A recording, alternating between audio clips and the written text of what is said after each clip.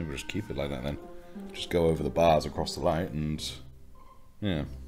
Okay. Okay, solid. Yeah. Just because I don't want to touch yellow no more. Right. Got the white back. Let's just go over these bars again. Cool. Nice. Okay. Yeah, I'll take that. I'll take that. He's got a lemon tart on his shoulder. Okay, now I have an idea for how to do a light and I want to try this out. Let's see if this idea works. First, I'm going to get a bit of Calgar blue. And I do mean a bit.